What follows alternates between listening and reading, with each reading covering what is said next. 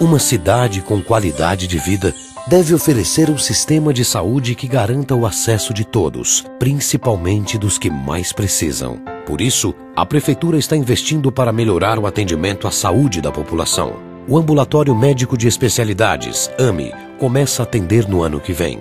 Será um centro de diagnóstico completo, com capacidade para mais 25 mil atendimentos por mês, entre consultas e exames. Só em 2010, quatro novas unidades básicas de saúde foram entregues. Outras estão sendo reformadas e ampliadas. Isso vai fazer com que todas as regiões da cidade tenham a sua UBS. E as obras do Hospital Regional com 138 leitos já vai começar. Jundiaí precisa da união de todos na construção da cidade que sonhamos. Vamos continuar caminhando, construindo o nosso futuro. Jundiaí, oportunidade é para todos.